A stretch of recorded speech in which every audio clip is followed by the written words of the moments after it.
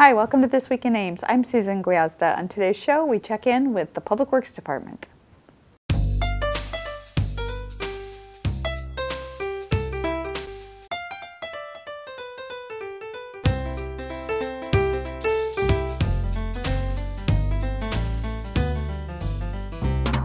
My guest today is Justin Clausen, Operations Manager with the City of Ames Public Works Department. Justin, welcome to the show. Thank you. So you've been in your position about a year now. Tell me a little bit about what you do. So my days are dealt with um, dealing with anything that happens within the public right of way, and traditionally that's um, on the street side. So whether it be street maintenance or snow and ice control, um, we also deal with the utility maintenance side, which is water mains, sanitary sewers, storm sewers, and also all of the um, grass within the right of way and trees as well. So you have an interesting background. I mean, you've worked in construction. You were a construction uh, supervisor here for us, and then moved into the position you have now. What's uh, what are some of your other uh, background experiences? Um, yeah, my background really you kind of hit on the head is, is, in construction. I was I was born into a family that um, had their own construction company. My father had a construction company in Western Iowa. Um, I tend to say I've had my hands in the dirt since I could old enough to walk. So um, my background really is in construction. I, I spent about 10 years in the private industry building roads and bridges prior to coming here to the city. And then at the city, I started off in the engineering department, as you mentioned, construction supervisor, and then moved up about a year ago into the operations side. Now, I know this job keeps you busy year round. One of the um, really exciting projects, one of the ones that a lot of people are affected by, is the construction of the Sixth Street Bridge. Can you tell me a little bit about that project? Yeah, that's a um, a fairly large project for us here. It's uh, about a two and a half million dollar project to reconstruct the Sixth Street Bridge over Squaw Creek. So right adjacent to Brookside Park. Um, the existing bridge is actually removed now. It's out of the way, so the road is closed. Um, the contractor had a pretty good December. The weather was was um, fairly decent for the first part of December. He was they were able to get the um, pier footing, then piling in place for the first pier and then they got the stem on the first pier. So the pier is the support structure underneath the bridge. So there are two of those that'll be um, right adjacent to Squaw Creek. So the first one is about 75% complete. So we had kind of hoped and anticipated that's where we would be before Christmas set in, and we, we fortunately made it there. So things are tracking pretty well there. So a lot of people, when I mention Sixth Street Bridge, they think it's the railroad overpass, and that's not what we're talking about. We're talking about the bridge over the river right next to the park. That's that, that's correct. That's uh, I, I get a lot of the same questions. People think it's a railroad overpass. Um, but no, it is it is the one over Squaw Creek right next to the park. And uh, it's gone. I mean, the bridge is gone and the street has been closed, and the street will remain closed for quite some time. Yes, the the overall project is going to. Um, it'll probably be it's about an eight to nine month time frame. So when they started in um, early November, we're anticipating um, July, maybe early August is what we're shooting for for a, a full construction period there. So in addition to reconstructing the bridge, there's also new paving on either end of it to um, tie into new bridge grades and things like that. And the bridge will be wider. It'll have um, a larger opening underneath for Squaw Creek. It will um, feature things such as a uh, uh, 12-foot bike and pedestrian lane on, on one side of it, and it'll have another sidewalk on the other side.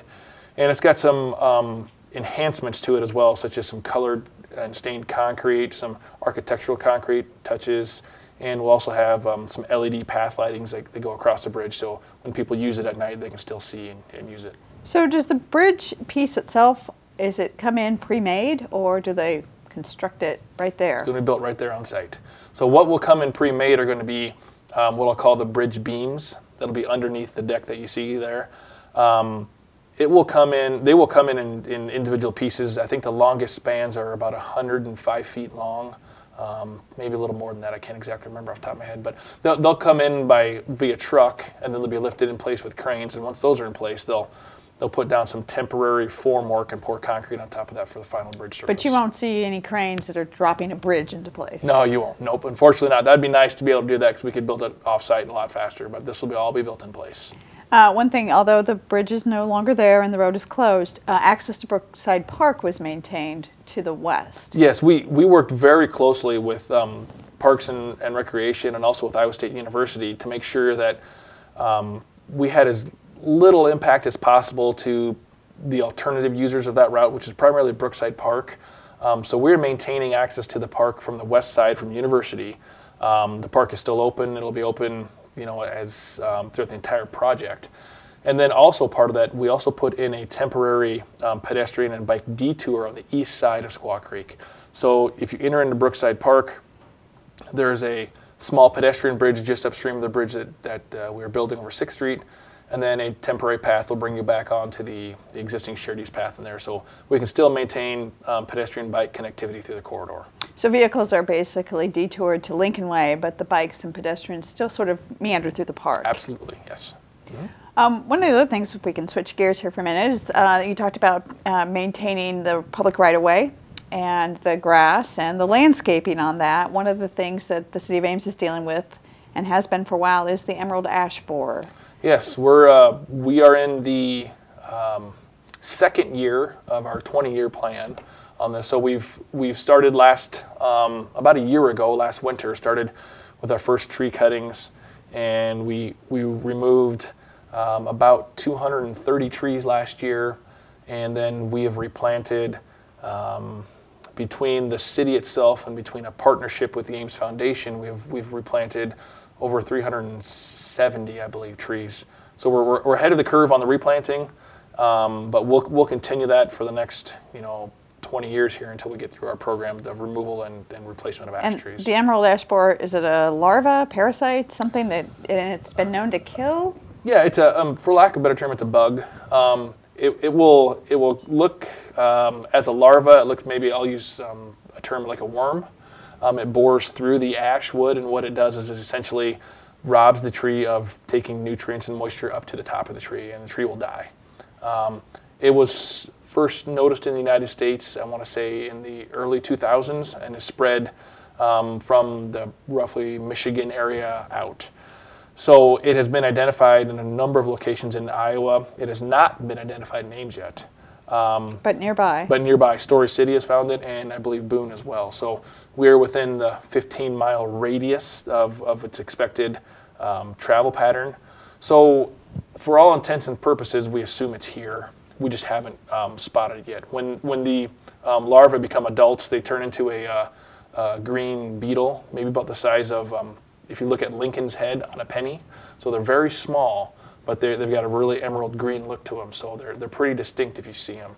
Um, so we've been on the lookout for that. You know, our, our Emerald Ash Borer program deals with um, treatment and removal and replacement as well. So we treated um, almost a thousand trees this year.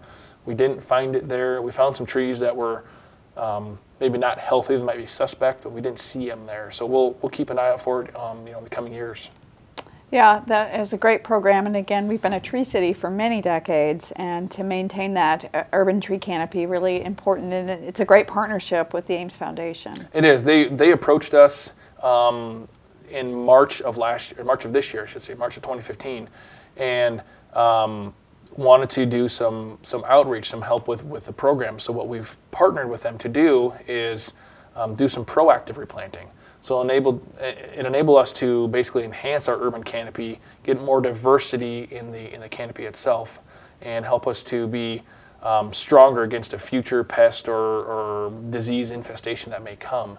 And by proactively replanting, um, we can get these new trees growing before we have to take down some of the larger ones as well. Sounds like a great program. Justin, is. I know you're busy. Thanks for stopping by. Thank you. So if you've enjoyed this recent snowfall, don't forget that anytime the snow falls in Ames, you have up to 10 daylight hours to clear your walks. Remember, we have a lot of pedestrians who use those to get around town. So remember, 10 daylight hours after a snowfall stops, your walks must be clean. Another thing to think about if you still have a Christmas tree and you want to get rid of it, remember that the Christmas trees are recycled at the Ames uh, Parks and Recreation Maintenance Facility on East 13th Street. You'll see that on the south side of the street. Look for the sign in the driveway and you can drop your Christmas tree during any daylight hours. Well, that's our show for today. Thanks for watching and tune in next week for This Week in Ames.